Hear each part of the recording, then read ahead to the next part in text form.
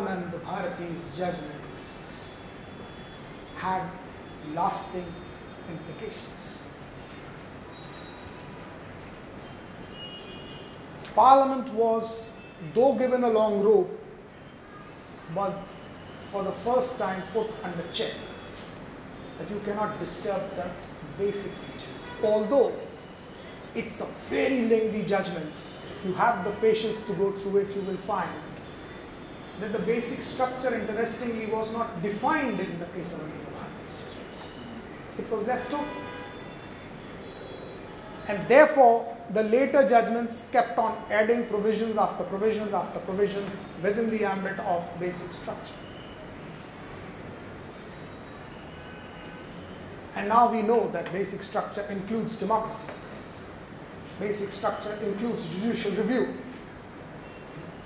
So on, so forth. It kept on adding. And that was good that Kesavanand judgment did not define basic structure. Now, in the meantime, another story. 24th Amendment और केसवानंद भारती के बाद कुछ नया हो गया क्या हो गया इंदिरा गांधी का election challenge. Allahabad High Court did something. On the ground that this election was won by Mrs. Indira Gandhi through malpractices, by wrong means. This was challenged by her opponent in that election, one Mr. Raj Narayan. Who contested election against Mrs. Gandhi from Allahabad constituency. Or maybe Raebareli. But the Allahabad High Court allowed the petition and held that yes, the election was won through malpractices and thus the election must be set aside.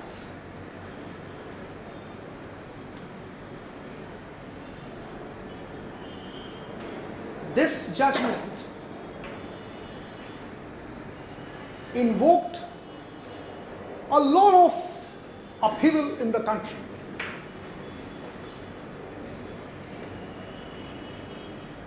Though this judgment was challenged before the Supreme Court, but in the meantime, something unheard of happened in the parliament. Four dates are very important to remember 7th, 8th, 9th, 10th of August 1975. Because the scheduled hearing of this case before Supreme Court was on 11th August 1975.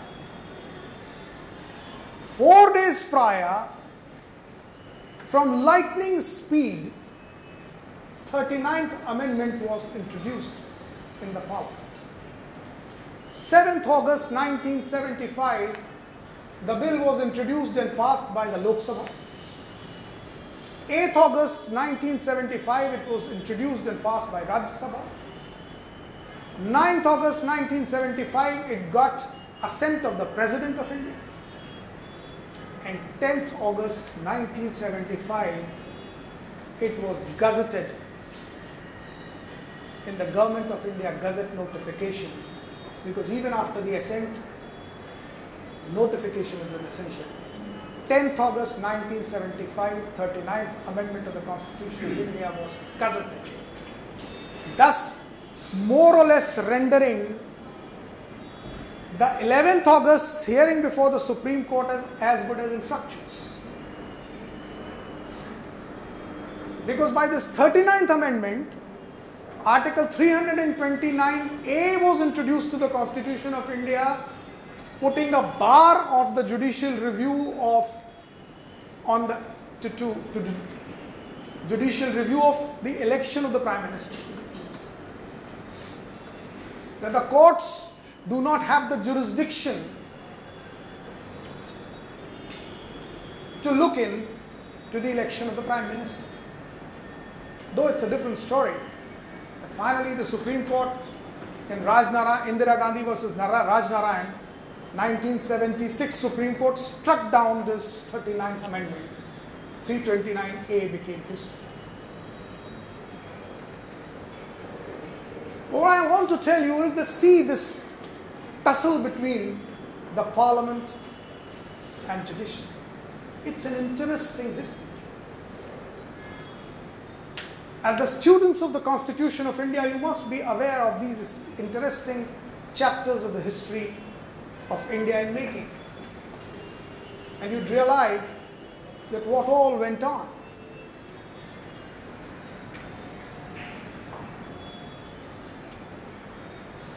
So that was the story of 39th Amendment of the Constitution of India and how it became history later on. From the landmark judgments of Indira Gandhi versus Raj Narayan, 1976 Supreme Court.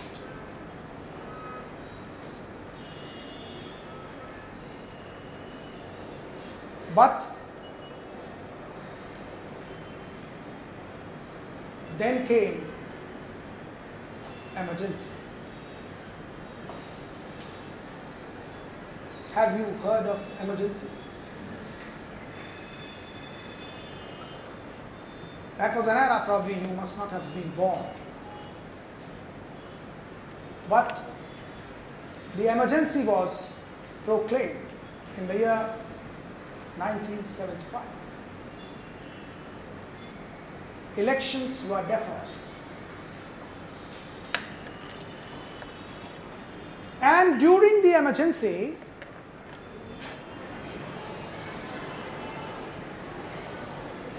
Forty-second Amendment of the Constitution was brought.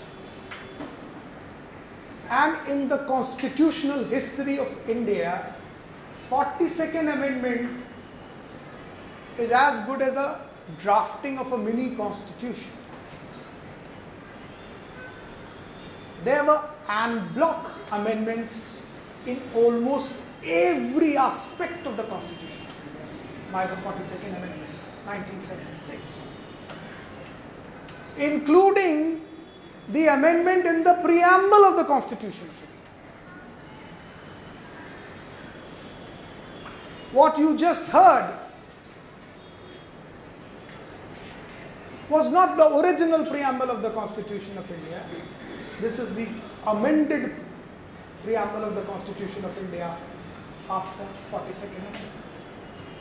Because when Sahib, your name is Sahil, when Sahil spoke, we the people of India having solemnly resolved to constitute India into sovereign, socialist, secular, democratic republic, the word socialist and secular were missing from the original constitution. They were later on added in the 42nd amendment of the constitution. Besides adding integrity of unity and integrity of nation in the fraternity clause. So these were and bloc. There were judicial, there were amendments in judicial aspect also. There were amendments in the judicial review aspect also. There were amendments in fundamental rights also. There were amendments even in this amending clause of Article 368 of the Constitution. Almost every aspect was touched in 42nd Amendment because there was no opposition. This amendment was carried out by the Parliament during emergency.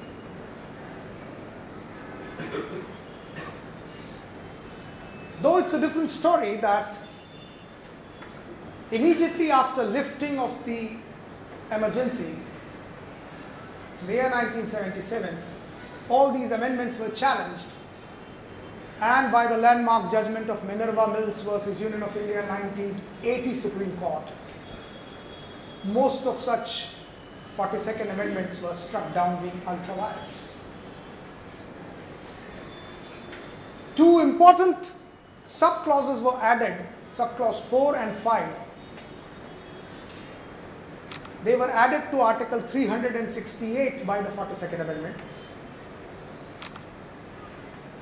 by which the entire amending power of the Parliament was brought beyond the purview of judicial review by Art subclause 4 and 5, which was struck down by Minerva Mills versus Union of India, 1987, restoring it to the original power.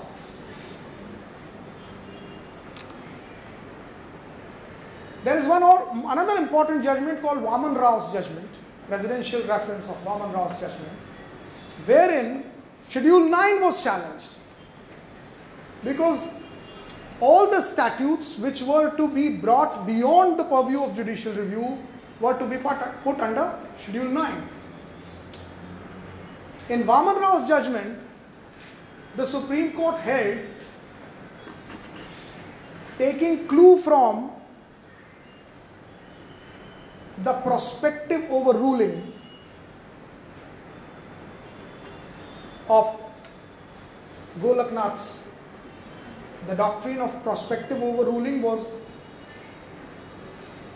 introduced by the Supreme Court in Golaknath's judgment, taking clue from there, prospective overruling, in Vaman Rao's judgment, the Supreme Court held that whatever statutes have been put under Schedule 9 till the date of the judgment of Keshavananda Bharati, that is 24th April 1973, shall remain as it is, but henceforth, if any statute is brought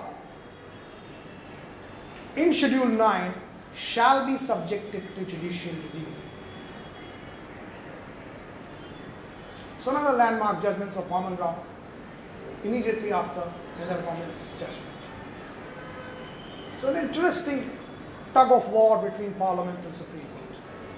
And that era was very volatile because we were in the inception of our independence and sovereignty.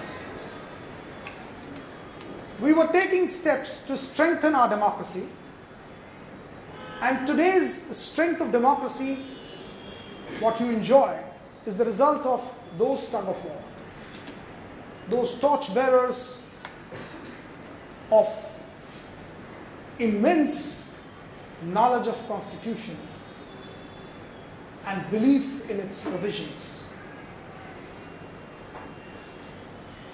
And if you read these judgments, you'll be amazed with the kind of arguments which were presented. Innovative thoughts brought to the fore. And that will be an eye opener to you at this age and give you an immense insight into the power which lies in the Constitution of India and the power it instills into every citizen of India.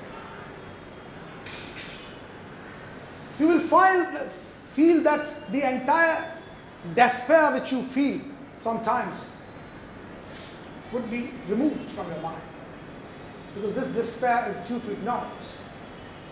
Otherwise, it's a beautiful piece of legislation giving you immense power to correct if you find something wrong. Now, moving ahead.